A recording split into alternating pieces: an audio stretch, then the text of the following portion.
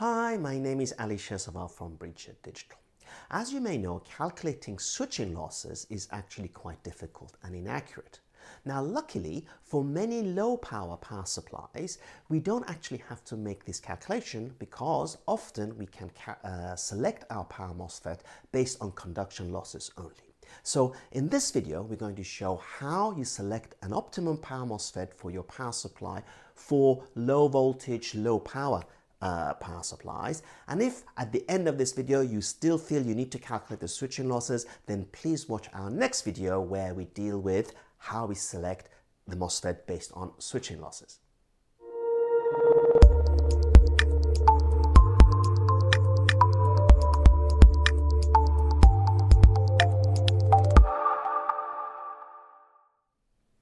Okay, so to select a power MOSFET for a low power, low voltage uh, power supply, uh, as a bare minimum, I need three parameters to be able to look for my MOSFET. VDS, the voltage stress across the MOSFET, ID, RMS value or the DC value, the current that is going through the MOSFET, and RDS, which is the, um, um, the, the, the drain source resistance of my MOSFET when it is fully on. Uh, let us for simplicity say that we are designing a small power supply. Let's say that it's uh, 5 watts. Uh, let's say I've got 12 volts in and I have an RMS current for simplicity of 1 amps. So I have here a buck converter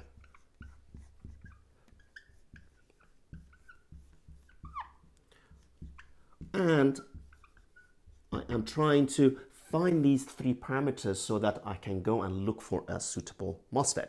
So if my input uh, voltage is, uh, is 12 volts, the voltage stress across this is going to be 12 volts.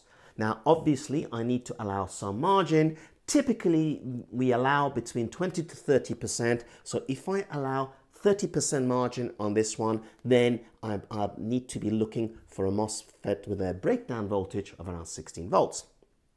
You'll find that um, 16 volts is actually quite an uncommon voltage, so the choices of power MOSFET with 16 volts breakdown voltage is actually really quite small. So we often go and look for one level higher, uh, which is more popular, and of course a popular breakdown voltage for MOSFET is 20 volts. So I already know the uh, breakdown voltage of the MOSFET that I'm going to look for.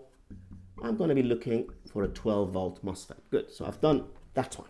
Now, we said that the RMS current through the MOSFET is going to be 1 amps. Uh, of course, you know these. These are part of your specification. So I know that the current through this is going to be 1 amps.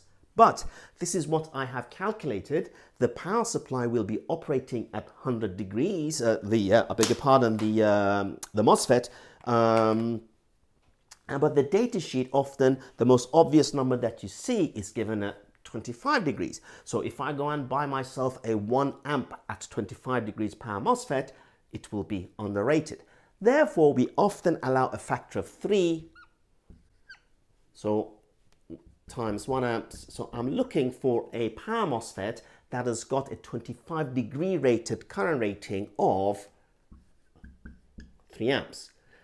That is my minimum. So uh, does that mean that I can go and buy myself a 1000 amp MOSFET? It's bigger than 3 amps? Well, no, because as the current rating of the MOSFET goes up, it will be harder to drive, the capacitances will be bigger, so the switching losses will go up. And of course, that is the topic of our next video. So for now, I need to put an upper limit and typically we put an upper limit of a factor of six. So I need to be looking for a MOSFET that is between three to six amps. That's great. I can go and look for a power MOSFET between 3 to 6 amps. So I've done that one also. The final thing that I need to uh, work out is my RDS. And for that, I need to know my conduction losses. Remember, for this small power supply, I'm trying to avoid calculating the switching losses. For simplicity, let us say that uh, our efficiency for this power supply, as per our specification, is going to be 96%. uh, we said that the uh, output power was 5 watts, that's P out. So with an efficiency of 96%, that means that my input power P in will have to be around 5.2 watts. Okay, so to meet this efficiency target, which is part of my specification, the grand total power that I can lose is 200 milliwatts or my power supply will not be running at my specified 96%. So how do I divide this grand total power loss budget that I have? Now again, we have done another detailed video about how you um, divide this up in a good and pragmatic way. Uh, for a buck converter, for now, let us say that I allow 40% of this power loss budget here.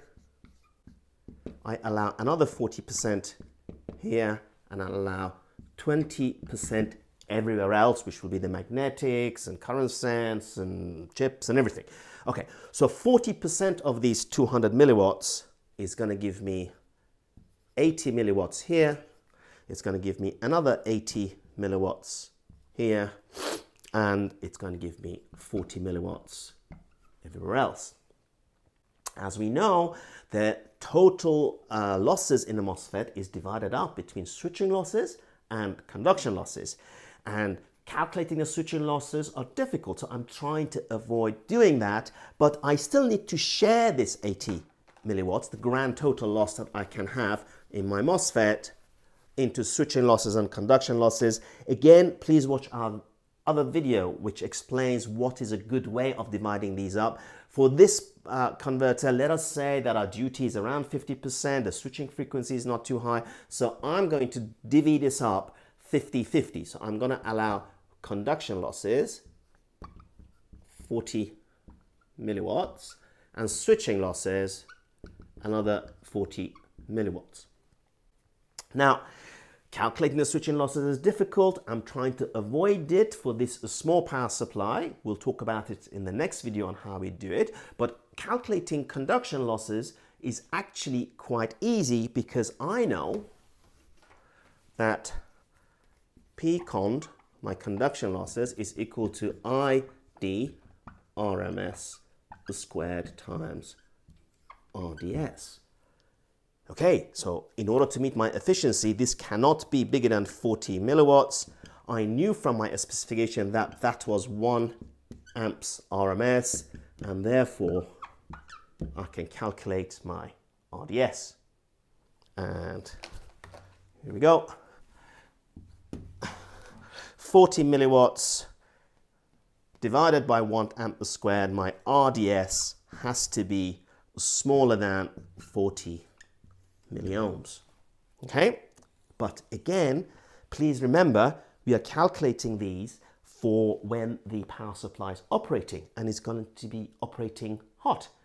The first value of the RDS that you see on the datasheet of the MOSFET, again, often is the RDS at uh, 25 degrees. So if you go and find yourself a MOSFET with RDS of 40 milliohms, um, you are underrating it because when it starts running and it gets hot, it's not going to be 40 anymore. At 100 degrees, it's going to be around 80. So again, we allow another 50% margin. So I will go and look for 20 milliohm MOSFET at 25 degrees so that by the time it's running and it's hot, I will have around 40.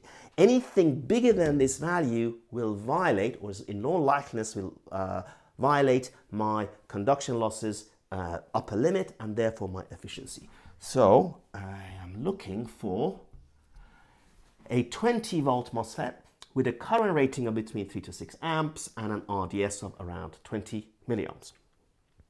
If this narrows down my choice enough, then I only end up with two or three choices, which is often the case for a small power supply, then I don't even need to calculate my switching losses. But if after narrowing these down, I still end up with 100 choices, then I do have to go and calculate my switching losses, which as I mentioned earlier, we're going to do in another video. So let us go to the computer, let us type these in, and let us see how many choices we actually have and see if we can select our MOSFET. Okay, so uh, I'm looking at uh, DigiKey's website and I'm going to search for my MOSFET. I'd just like to point out at this uh, point that we do not get paid uh, by DigiKey. It's just that uh, they have got a really fantastic uh, search tool and I, and I, really like how fast it is. By all means, you can use whichever vendor that, that you like. let us, however, for sake of an example, look at how we find our MOSFET. So first, I will search for MOSFETs then single MOSFET. You'll see that I have got 43,000 choices and obviously I have to narrow these down. However, we know from earlier that we are looking for a MOSFET with the breakdown voltage of around 20 volts, a current between 3 to 6 amps and an RDS of less than 20 milliohms. So let us, uh, let us look for that um, and see what we get. And first, however, I'm going to narrow it down a little bit more. You don't have to do this. I'm going to look for in stock RoHS compliant. Obviously, I would like to have the data sheet. And for now, I'm going to exclude it, uh, the marketplace products. So we just look at what is available on, um, on, on DigiKey. Uh, and then uh, we are looking for active. So we don't want to buy an old MOSFET or one that's been uh, discontinued. N-channel MOSFET. And you'll see that uh, my choices fall from 43,000 to just under 10,000. So we apply all of that. And then uh, if uh, I limit the MOSFET to 20 volts, that's the breakdown voltage of, uh, of my MOSFET, it falls down to 430.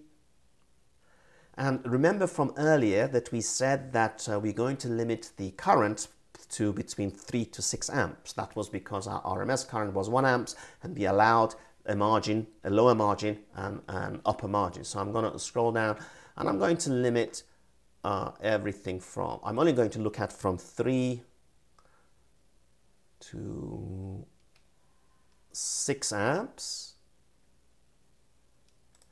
and my choice uh, falls down to 107.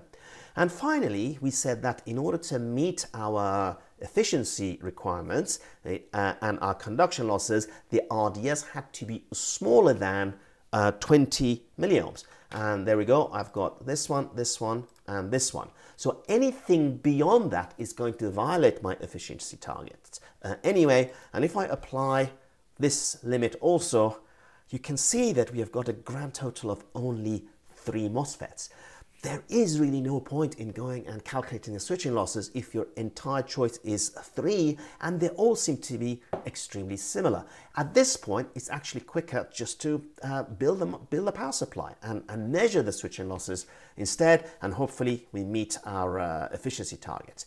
Uh, if you are uh, designing a bigger power supply with a higher current rating, then the chances are you don't end up with three, you will end up with maybe 50 MOSFETs and it's at that point that we are going to have to calculate the switching losses in order to narrow down our choices and of course that is a topic of our next video. Uh, hope you enjoy this video and hope to see you at one of our workshops.